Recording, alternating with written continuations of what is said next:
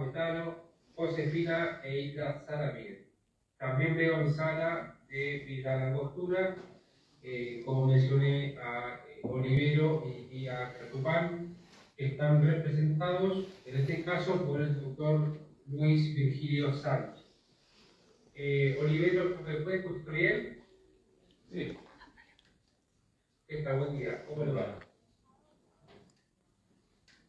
¿Catupán me escucha bien? ¿Ahorita? Sí, bien.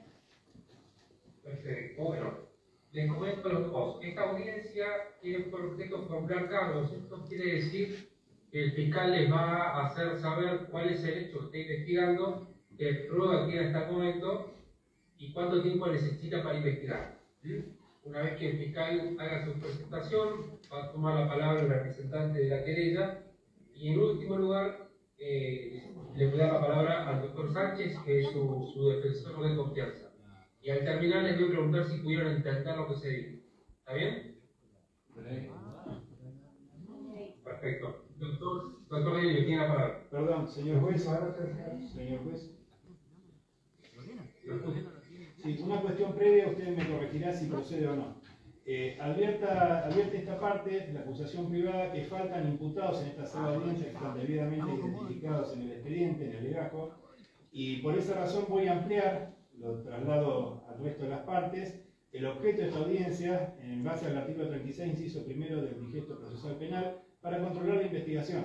Esto, señor juez, en miras de evitar dispendio de actividad jurisdiccional, o sea, eh, evitar hacer nuevas audiencias, convocando al resto de los imputados que en plan delictivo, en un concierto delictivo, eh, atacaron al ingeniero Farmetano y al resto de los ingenieros que estaban trabajando en el inmueble propiedad de mi cliente, la familia Saramina.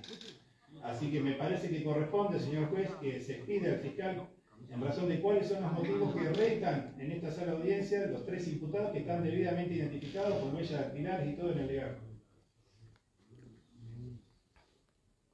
A ver, doctor, vamos a comenzar con la formulación de cargos, le da la palabra al fiscal y cuando sea su turno, eh, realiza, renueva el fundamento, pero el objeto es la formulación de cargos. Usted lo puede hacer después.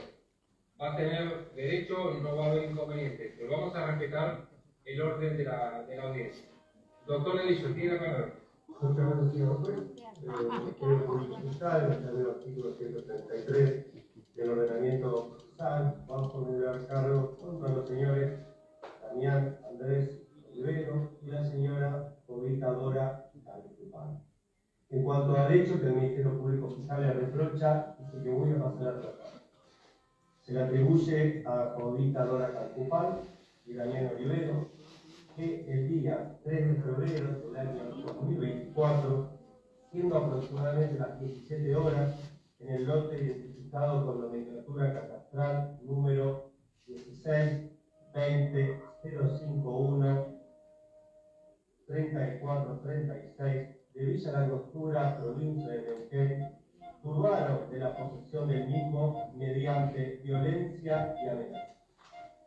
En dichas circunstancias de, de un lugar, se encontraba en el predio propiedad de la familia Salamida, los ingenieros José Ricardo Vino, Rafael Alberto Ronzone, Hugo Luis Parmetano y el especialista en caballos José María Alejandro Gay, realizando tareas de replanteo consistentes en la colocación de estacas y cintas demarcatorias del sector donde se ubicaría el picadero respecto del centro de educación ecuestre terapéutico a construir en el lugar.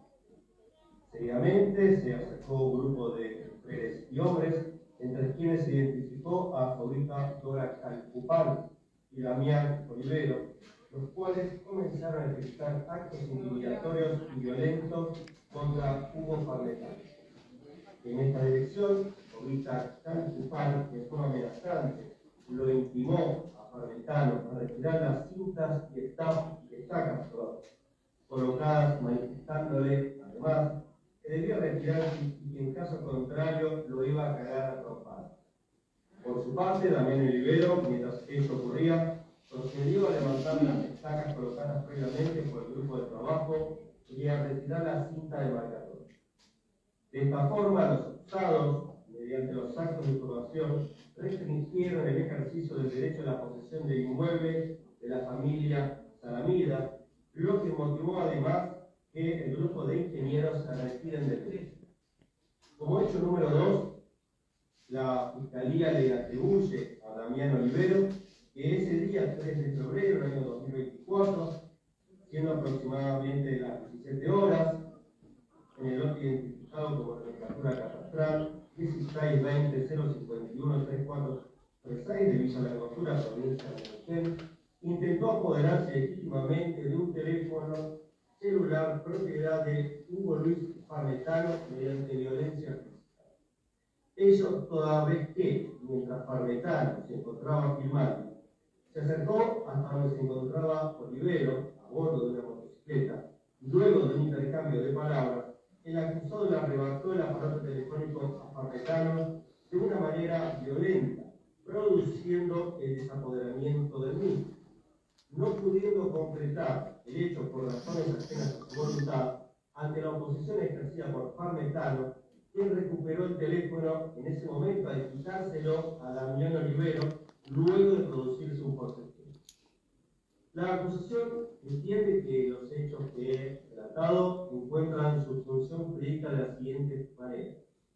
A los nombrados Dora Covica Cacupán y Damián Olivero, el hecho número uno, es constitutivo del delito de turbación, el cual se le atribuye en calidad de coautores, en los términos del artículo 45 y 181 tercer párrafo del Código Penal. Y lo que tiene que ver con el hecho individualizado como el número 2, al señor Daniel Olivero, se le atribuye el delito de robo en grado de tentativa en los términos del artículo 45, perdón, 42, 45, 164, en este caso concursando en forma real por el evento número 1, en los términos del artículo 56. En lo que hace a la evidencia que contamos y que la que hemos valorado para esta formulación de cargos, está conformada de la siguiente manera. En primer lugar, el acta de la denuncia de fecha 14 de febrero de 2024 efectuó la señora Josefina Elvira Salamida de Andino y la Raquel Salamida, presentada ante la Unidad Fiscal Única de La Costura y las ratificaciones posteriores que se llevaron ahí. Tenemos los planos de la construcción del centro de estación ecuestre de la Pérsico que nos aportaron los denunciantes. Tenemos las capturas de pantalla, donde se observan a los imputados. Esto es, eh, se ha obtenido una estimación, como el señor Parlamentano estaba realizando una estimación de estos eventos, eso nos fue aportado al Ministerio Público Fiscal.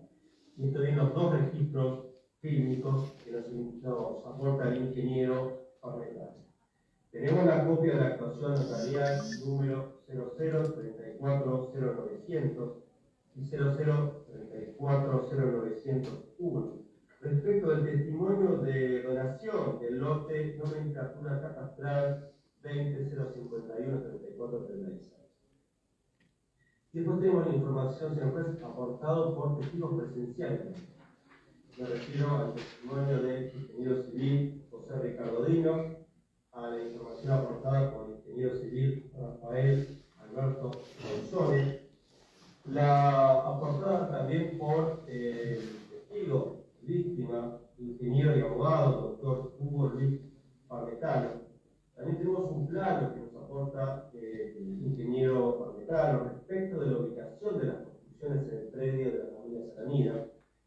Y esa es, juez, la información relevante que tenemos en este momento. En cuanto al tiempo que la Fiscalía entiende que va a ser necesaria para la finalización de la etapa preparatoria, en principio entendemos que el plazo de tres meses será suficiente, algo que este, la querella o que la defensa tenga algo que agregar al respecto. La Fiscalía entiende que este es el, para- el plazo propicio para la finalización de la investigación. Gracias.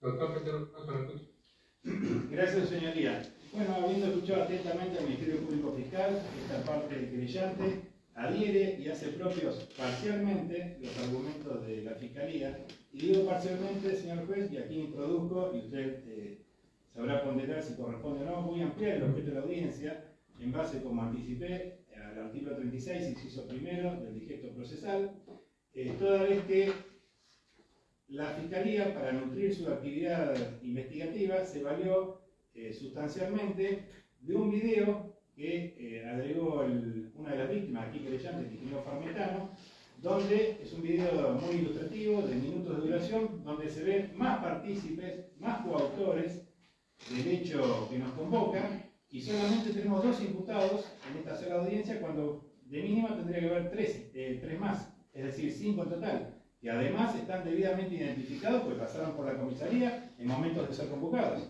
Es decir, me parece un dispendio de actividad jurisdiccional volver a realizar una audiencia contra la acusación y por eso solicito que prospere esta moción de controlar la investigación eh, a fines de economía procesal.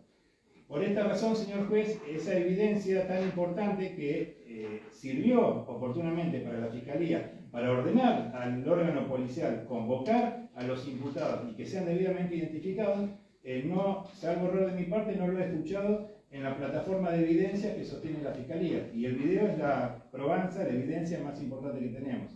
Eh, por eso, antes de pasar, de seguir adelante, señor juez, voy a pedir que se resuelva este tópico a fines de controlar, o sea, y que nos explique la Fiscalía eh, qué es lo que ha pasado, que falta el resto de los imputados, donde claramente se ve que tienen una colaboración activa en el reproche que estamos haciendo solamente hacia dos inculpados.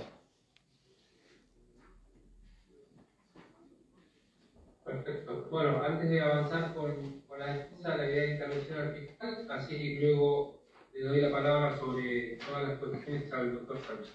Doctor le escucho. Muchísimas gracias, señor juez. La Fiscalía ha evaluado la totalidad del material al cual se referencia y también hace referencia eh, querellante, patrocinante de la querella, en cuanto a una diferente interpretación en torno a la actividad que habían desplegado tres personas que se encontraban eh, en ese momento. Habré escuchado su señoría que cuando la Fiscalía hace reproche habla de un grupo de personas que se acercan, pero lo que se debe evaluar es si este, las restantes, al menos estas tres personas, han tenido una participación activa, esto es, si han ejecutado algunos de los medios comisivos que le reprocha el Ministerio Público Fiscal para la la consumación de la figura de la acusación. En este sentido, la interpretación que hace la acusación es que si bien había este, más personas presentes en el acto, no hemos podido establecer una activa participación en, digamos, en la ejecución de los medios comisivos que atribuye el Ministerio Público Fiscal, esto es la violencia y las amenazas. Este, una, una vista eh, contenido de esas expresiones, específicamente la de la afirmación, sí permite establecer que estaban estas personas, o estas personas no han efectuado eh, manifestaciones que constituyan eh, amenazas, y tampoco han ejecutado actos violentos. Cierto es que estaban en el lugar, esto es hacen saber su parecer sobre lo que está ocurriendo, pero yo no puedo distinguir, a diferencia de lo que hemos hecho respecto a la señora Jovita Dorota Tupar y el señor Camilo Rivero, que hubieran ejecutado algunos de los medios comisivos, esto es un sentido estricto, tiene el principio de taxatividad que no se establece el Código Penal. Por eso es que la acusación en esta instancia al menos no ha entendido pertinente que la conducta debiera ser reprochada a más personas que los ya nombrados. Muy bien, doctor Sánchez. Bueno, habiendo escuchado al fiscal, si bien eh, ya me habló varias ocasiones, eh, obviamente que me voy a oponer que aquí se le formulen cargos a ninguna persona que no sean las personas que han sido citadas para esa diligencia. Eh, estamos eh, hablando de que es el Ministerio Público Fiscal quien, quien tiene la visita pública y quien eh, establece la acusación, porque con el criterio de, la querella, si se pudieran eh, meter imputados por la ventana en las audiencias de formulaciones de cargos, eh, directamente sería la querella la que ejercería el Ministerio por los particulares, podrían estar ejerciendo esa visita pública, eh, que si bien en un sistema acusatorio les permite tanto eh, trabajar en forma conjunta y, y- y, bueno, y unificar acusaciones de este tipo de cosas, la, digamos, el encuadre y las acusaciones son eh, potestad del Ministerio Público Fiscal. Y bueno, y además nosotros tenemos en cuenta que lo que se hace acá es, el- yo digo porque no lo mencionó el fiscal, pero sí lo dijo la querella que mencionó videos, evidencia o, alguna cuestión que él considere satisfactorio. Eh, debemos recordar que en la audiencia de formulación de cargos se, establece de manera provisoria una calificación legal y los elementos de juicio sobre esto, digamos, se, se presentan eh, sin que todo, nosotros todavía tengamos la oportunidad de ver si esas evidencias son ciertas, si, si, si, en esas circunstancias. Así que, bueno, desde la defensa nosotros nos vamos a oponer al, al planteo que realiza la querella. Eh, y bueno, y obviamente, eh, no sé si también se me corre traslado respecto del plazo para la realización de la acusación. Eh, también yo voy a, pedir estoy de acuerdo con que tres meses son suficientes, algo que la, la querella considere que necesite más tiempo para completar esta investigación que se está requiriendo.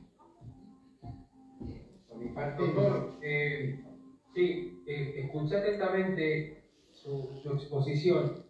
Eh, necesitaría que se expida en relación a la formulación de cargos de sus clientes, porque se expidió en relación al planteo de la querella.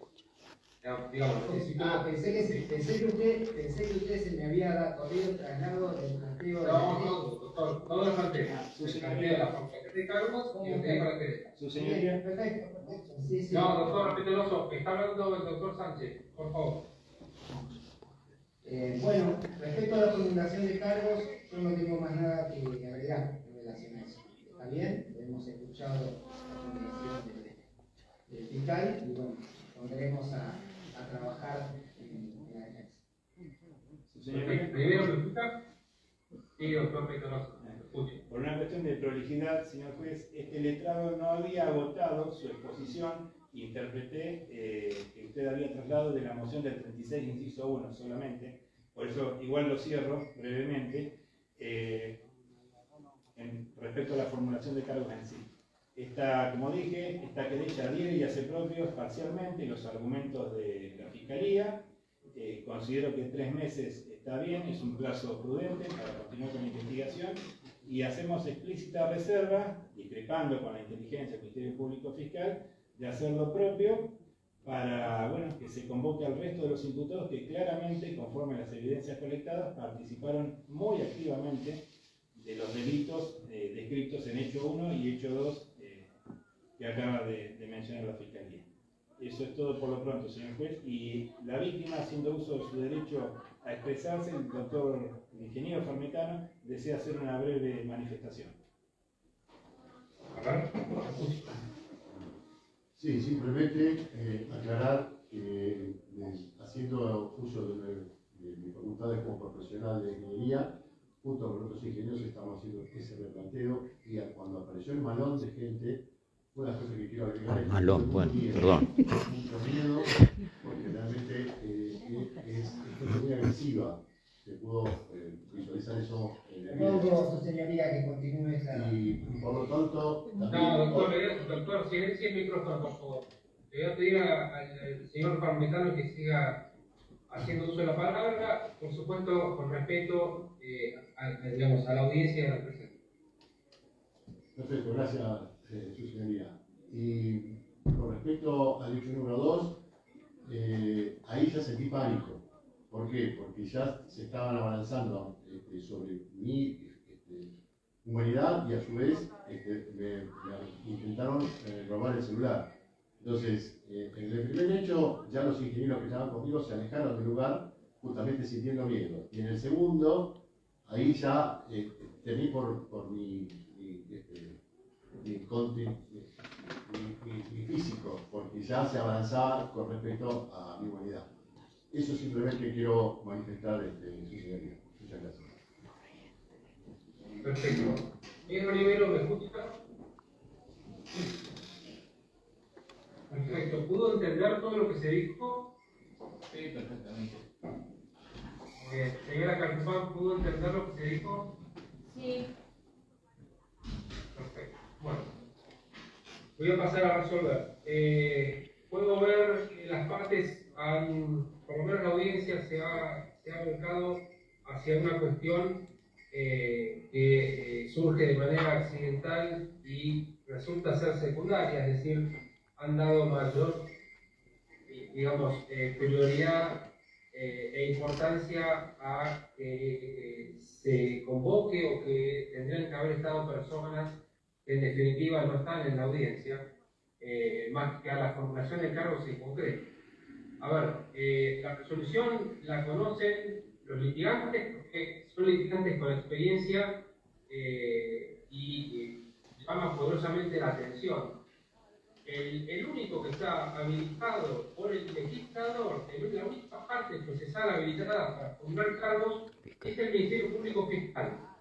Esto, esto ya surgió de una controversia dada al sector antigua en el 2016, luego ratificada en el 2018, fallo Barreiro del Tribunal Superior de Justicia y luego Comisaría Primera, otro, tribunal, otro fallo del Tribunal Superior de Justicia, donde queda expresamente establecido, pero a partir de una, de una exclusión expresa de la Cámara de Diputados de la provincia, donde se dice y queda muy claro que es el Ministerio Público el único encargado y habilitado de formular los cargos eh, en los delitos de acción, eh, de acción pública. Esto no quita, esto no quita porque aquí es donde yo veo el problema, eh, o por lo menos la controversia, a que el litigante y el fiscal, en este caso y en cualquier otro, puedan, eh, a, partir de, de las conversaciones y el trabajo conjunto, establecer líneas de investigación, eh, líneas de imputación, es decir, la teoría del caso. Eso no quita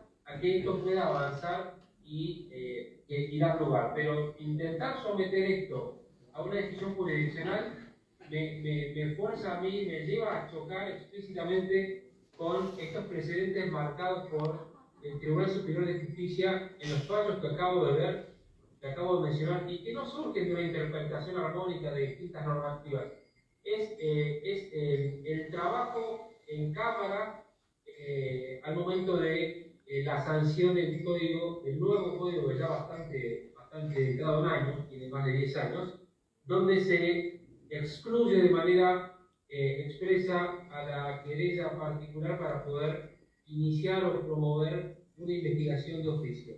Sobre esta pauta voy a, a, a- a- a instar a las partes, principalmente a querella y a fiscalía, que puedan, eh, puedan trabajar estos puntos en el seno del Ministerio Público Fiscal para evaluar un poco ya el Ministerio Público sin dar eh, respuesta o sin expresar los fallos que acabo de mencionar, dio los fundamentos, es decir, la sustancia por la cual entiende que Olivero y Cacupán son las personas que tienen que estar aquí. Pero yo no juzgo sobre ese punto.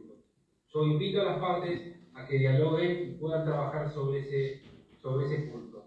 En cuanto a la formulación de cargos, eh, pude escuchar atentamente al Ministerio Público Fiscal, eh, relata dos hechos ocurridos el 3 de febrero de este, este año, donde me da cuenta de circunstancias de grupo y lugar, la calificación jurídica, actuación, eh, de la posesión, en calidad de coautores para ambos imputados y robo grado de tentativa en concurso real con la figura anteriormente mencionada eh, en relación a la señora Alcupán. Eh, bajo, bajo estas pautas, analicé, pude escuchar atentamente las circunstancias de tiempo, modo y lugar, están debidamente descritas, el hecho se entiende, es coherente, y la calificación jurídica es, cohe- es coherente con este, con este hecho que narra, que narra la Fiscalía. El plazo para investigar no ha sido, no ha sido puesto en crisis, las partes tendrán a partir del día de la fecha, todos, esto es un plazo común, tres meses para poder concretar, eh, concretar la investigación y avanzar consecutivamente. Bajo todos estos argumentos, entonces se tienen por formulado los cargos eh, contra Damián Olivero y Jovita Alcupán. Este es el objeto de la audiencia. Hemos concluido. Tengan todos muy buen día. Buen día, gracias. Buenos días.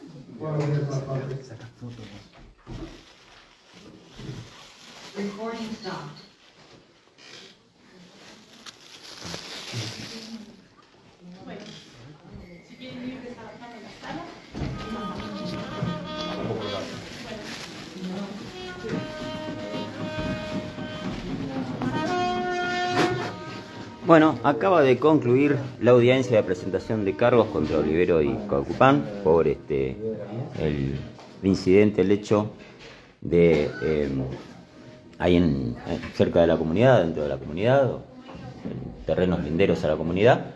Y este bueno, ahora hay tres meses para investigar y bueno, decidir si efectivamente eh, se produjo la acusación, eh, la comprobación de que hubo este, turbación de tierras y tentativa de, robo de un celular. Eh, y si no, bueno, ya son inocentes porque hasta que se demuestre lo contrario, así que bueno, estará la carga de parte de la querella. Está retirando acá toda la gente, bueno, afuera está la gente de la comunidad justamente que están recibiéndolos.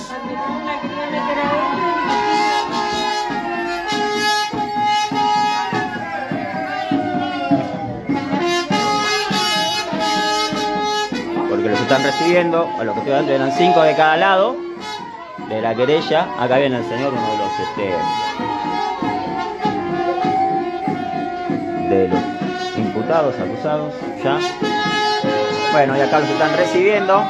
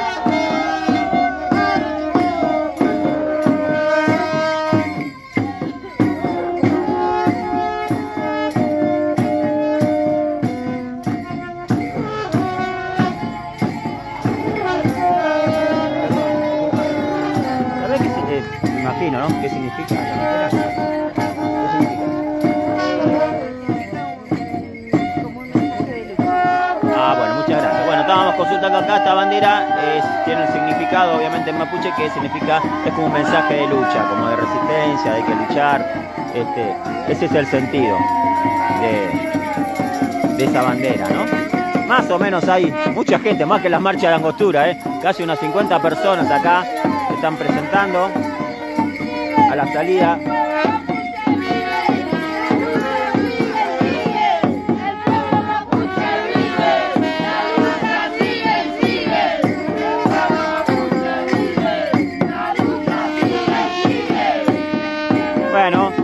entrar ahora y vamos a consultar con otra parte a ver si nos comentan algo que les pareció toda la situación. Bueno, al doctor Petoroso lo vimos que estaba disconforme, quería que hubiera más personas dentro de la incluidas dentro de la acusación, ¿sí? Eh, perdón, buen día, ¿dónde están? ¿Ya salieron? Están todos afuera, bueno, se han ido. Bueno, muchas gracias. Estamos consultando entonces en vivo, la TV ha salido la gente, se han retirado rápidamente, no pudimos hablar con la otra parte. Pero bueno, este, esto es así, Villa La Angostura en la vida, es el vivo. Gracias.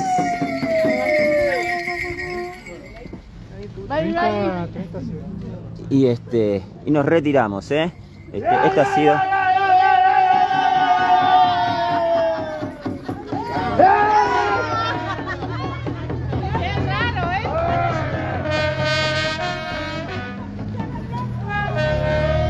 Y bueno, nos pedimos de acá. Ah, bueno, están allá, me parece. Bueno, vamos a verlos. A ver si el doctor Petoroso está conforme o no con que no le hayan ampliado la, acusación.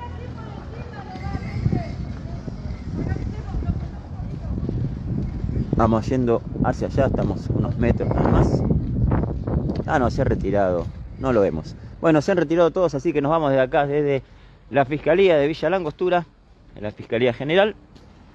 Y ya nos volveremos a encontrar con más Lante ¿eh? dentro de poquito. En otras actividades, en otros eventos, ya saben que les traemos los mejores. Hay perros también, hay de todo acá en la villa. Les traemos las noticias y los mejores eventos deportivos, culturales y sociales de la villa. Chao. Gracias por estar.